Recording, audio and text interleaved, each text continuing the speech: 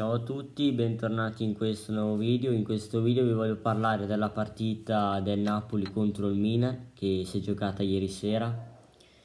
Devo dire che il Milan, eh, come al solito, ha giocato bene perché ha meritato di vincere. Il Napoli non c'era neanche in campo, sembrava. Ho visto un Napoli in difficoltà, un Napoli che non è riuscito a creare le occasioni che sarebbero state per fare gol. Invece ho visto poi un Milan che è riuscito, con l'occasione che ha fatto, è riuscito a segnare. Cioè, ho visto che il Milan ha fatto 3-4 tiri in porta e ha segnato. Il Napoli invece ha fatto qualche tiro e la, continuava a parare Magnan. Magnan continuava a parare. Se l'Inter deve fare gol, deve tirare in porta 500 volte. Invece i giocatori del Milan se tirano in porta con 3, 4 o 5 tiri, segnano.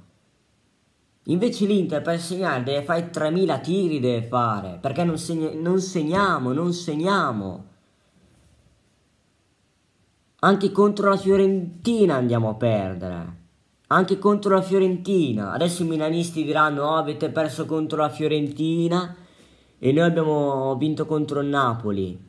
Intanto non è ancora finita, non è ancora finita per lo scudetto perché non si sa ancora e poi voi siete comunque sotto in classifica.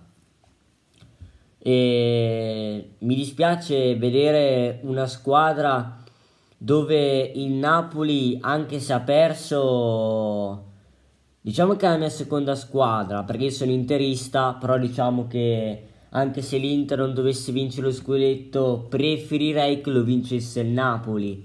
Però, insomma, mi prude, mi prude un po' la sconfitta di ieri, eh? mi prude un pochino la sconfitta di ieri. Perché non me l'aspettavo che andava a vincere il Milan 4-0 il Napoli si vede che era impreparato, era impreparato, non, non è riuscito, ripeto, a creare le occasioni giuste per, per segnare. Il Milan invece è stato molto più decisivo, ha giocato meglio perché si è visto in campo ieri, ha creato molte occasioni e si è visto in campo, ha dimostrato di vincere. Il Napoli mi è dispiaciuto vedere una squadra che va a perdere soprattutto in casa 4 a 0.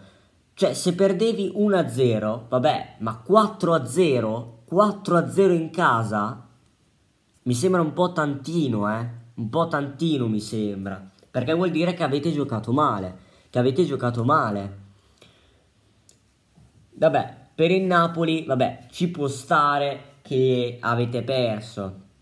Anche perché ci sono altre partite, dovete giocare con Lecce magari riuscite ancora a prendere qualche punto. Ma quello che mi preoccupa di più è l'Inter, è l'Inter, che da, da seconda va quarta, anzi non va, è quarta. Perché adesso stiamo facendo schifo noi. Non siamo neanche riusciti a battere la Fiorentina.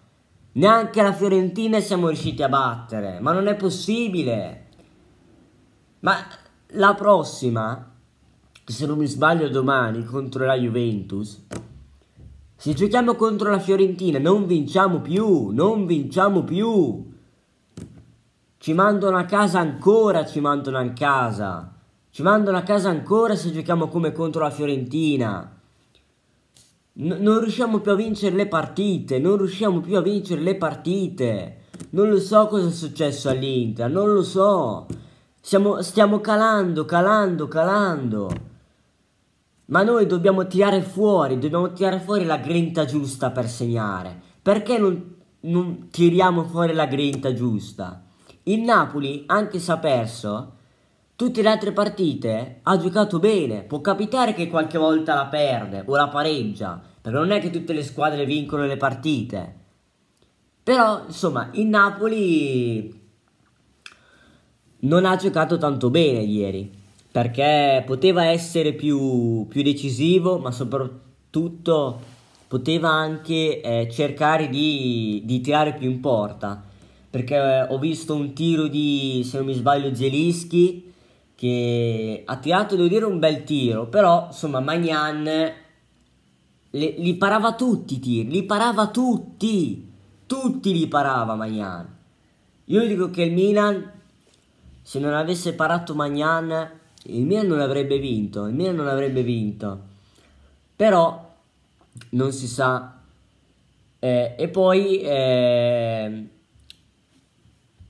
ho visto Varascheglia che secondo me è l'unico, ma dico l'unico che si può salvare, ma però diciamo che secondo me poteva anche fare meglio, però ho visto un contropiede che mi è piaciuto, mi è piaciuto che ha fatto, perché diciamo che è molto molto veloce, ma però Leao ha tanta tanta classe e in campo fa sempre la differenza, cioè non lo ferma mai nessuno. Per cui se dovessi scegliere tra eh, Varascheglia e Leao, io direi eh, Leao, ma anche se Varascheglia per me è un fuoriclasse, è un fuoriclasse perché piace moltissimo, un giocatore con tanta classe, però c'è da dire che Leao è un fenomeno. Però Varascheglia diciamo che per me è lì, è lì. Però certo che a scartare secondo me è più bravo Leao come fisico dico Varascheglia, però diciamo che sono due giocatori veramente forti. Bene ragazzi, il video è finito, se vi è piaciuto iscrivetevi al canale, lasciate like e noi ci vediamo al prossimo video. Ciao ragazzi, sempre e solo Forza Inter.